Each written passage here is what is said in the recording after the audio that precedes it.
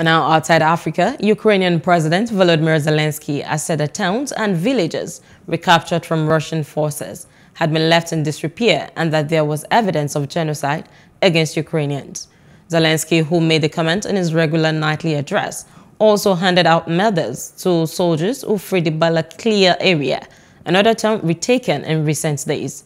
Russian forces suffered a stunning reversal this month after Ukrainian troops made a rapid arm of trust in Kharkiv region, forcing a rushed Russian withdrawal.